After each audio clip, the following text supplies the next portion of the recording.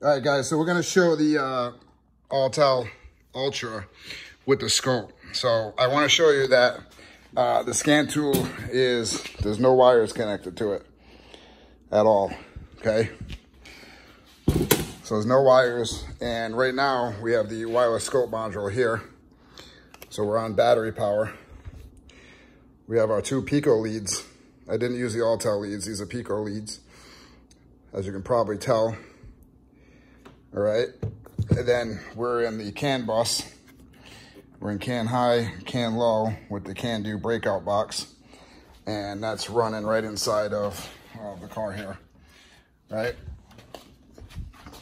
so what we're gonna do is we're gonna come up here to the folder, uh, not to the folder, sorry, um, to the car. And we're gonna do data communication, CAN bus, high speed that's what it should look like right there, okay?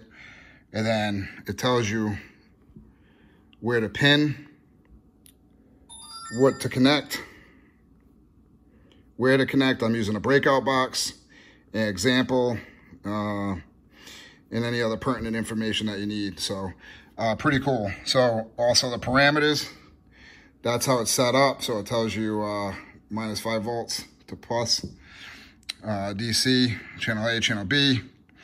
Uh, you have help over here, which gives you the how to and all that stuff. So we're gonna go ahead and press that over there, get rid of that.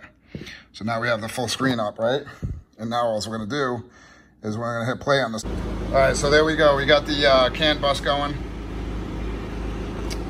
There's our signals. Again, all my wires are right here. So nothing's, nothing's coming over there. That's it right?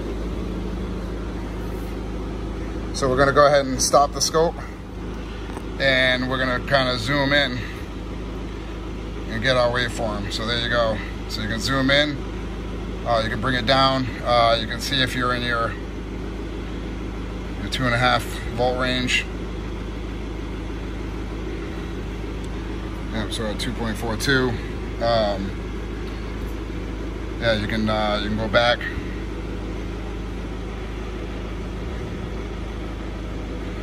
Go back whatever frames you want.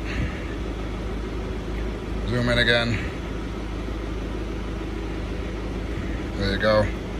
Uh, you got your triggers. Uh, so again, I just I wanted to kind of show you this so that you can see that you can run the scope uh, with no bat with no uh, no wires hooked up. So that's fast enough to run with the CAN bus high and low on a wireless scope.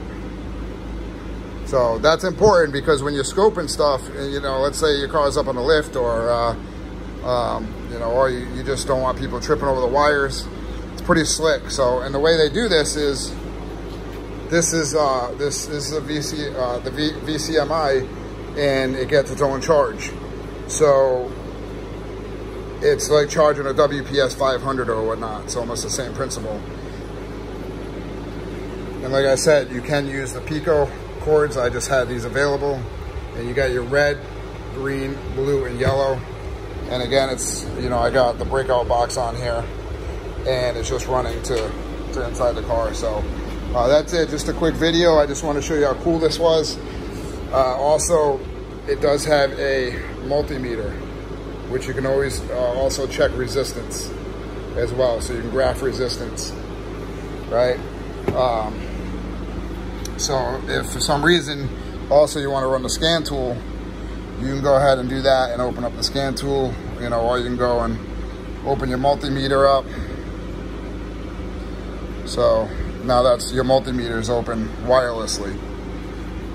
So pretty slick to have the wireless multimeter. Try to get you out of the light here. So